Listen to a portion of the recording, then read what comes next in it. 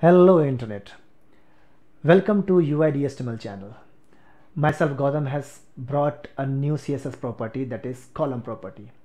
This column property gives you the facility to arrange images, your images into a gallery which has different sizes and these images can be listed into a columns and it will give you the facility to arrange your images into different order. It doesn't it, it doesn't matter how uh, what the width, width of your image and what the height of image is. So I think this will amaze you and this will give you uh, by using this you will feel very happy to arrange in arranging the images onto your site. So let's get back to the example. So we have a new example of CSS column. And this image gallery we have got by CSS column property. And see how the pictures are arranged into four columns and how they are separated with each other. And we have uneven heights height of the images. See this is very long. This is quite short and comparatively this is in medium state. And how beautifully it has arranged. So css given as the property css column and column gap and column count where we can get such of such type of image gallery with only single line of code. So let's jump into css column property.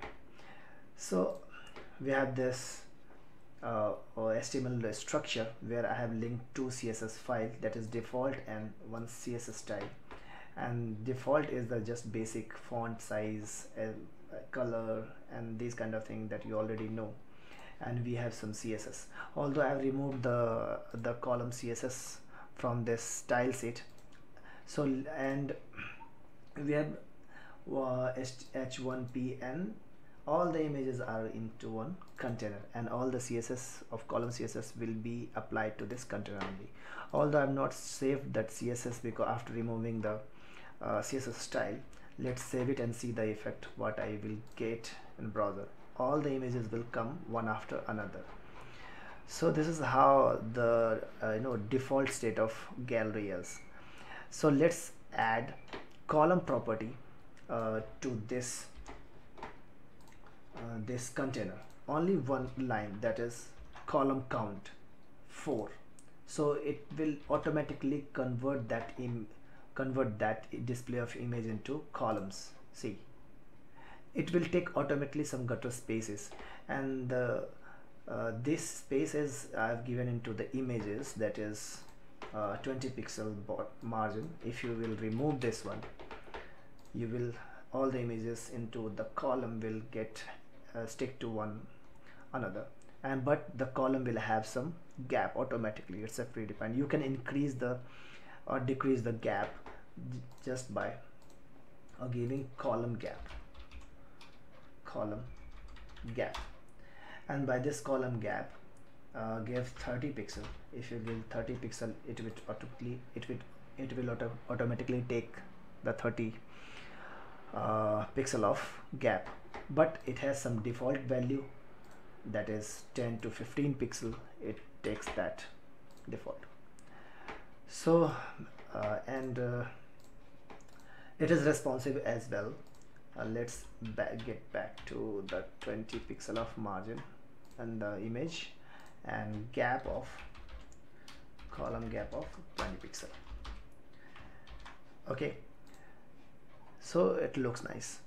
You can uh, you can make it responsive. Although it is not responsive now let me add the responsive css this is very easy to add the column count to the breakpoints.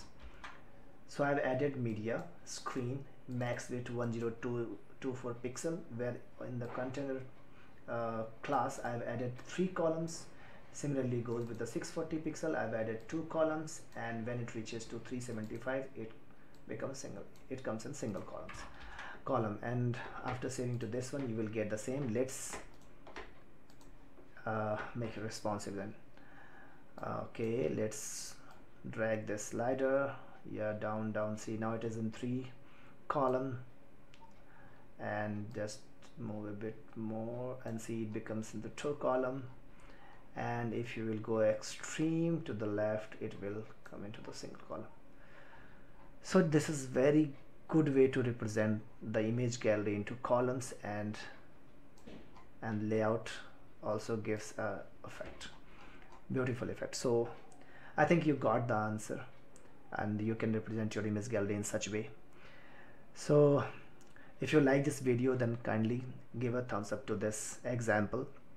And if you if you have not subscribed this channel please subscribe this channel and hit the bell icon so that you cannot miss any video and this video of UID HTML and till then let's meet to the next video. Till then thank you so much. Bye bye